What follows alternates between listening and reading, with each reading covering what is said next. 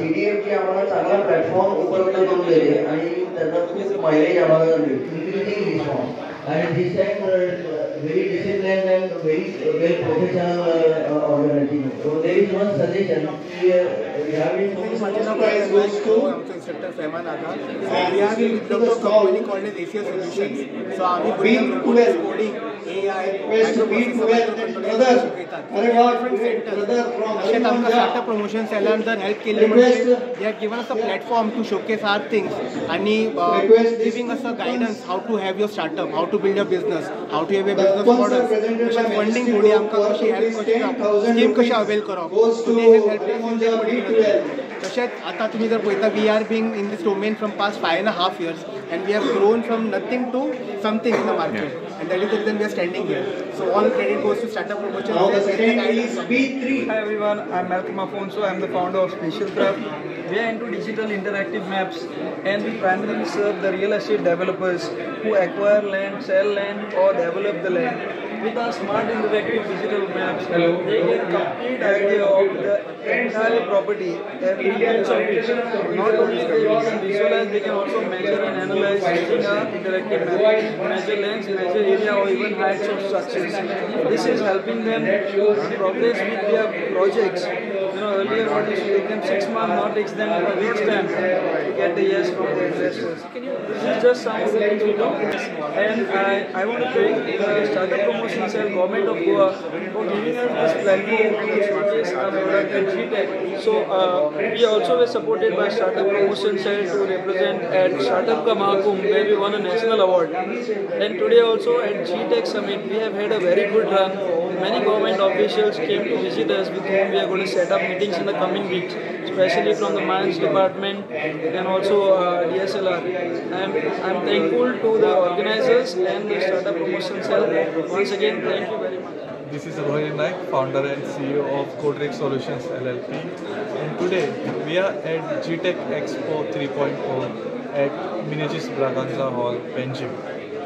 So I had put a stall here for my product Rixcast, which is Goa Startup Promotion Cell certified and also Startup India.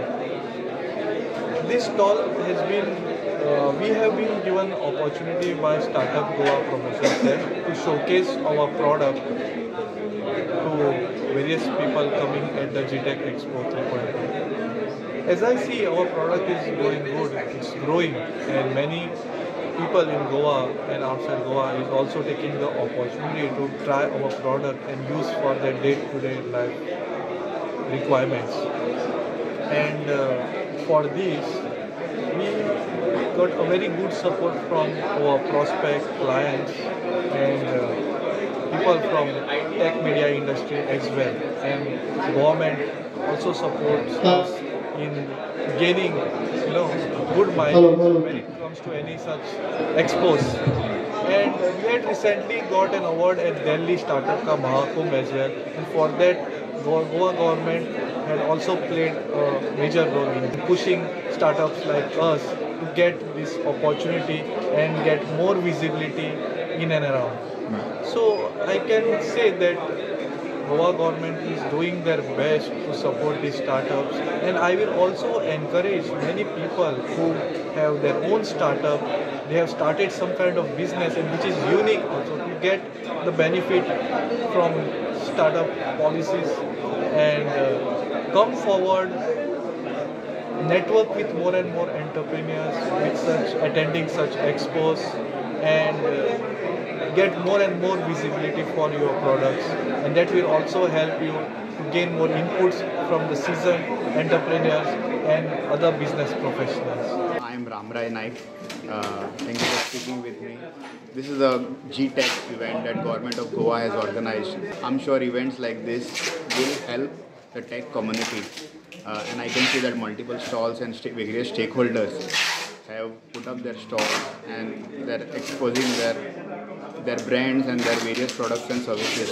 Uh, I think students will definitely benefit, especially those belonging to engineering background. But I would also request if I mean today is the last day, if at all this kind of events happen, I would want more from the other discipline, the liberal arts. I mean Steve Jobs used to always talk about intersection between liberal arts and technology.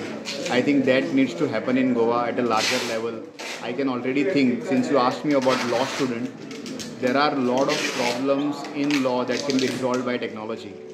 And one of that is the major problem that we are all facing in India, that is the pendency of cases.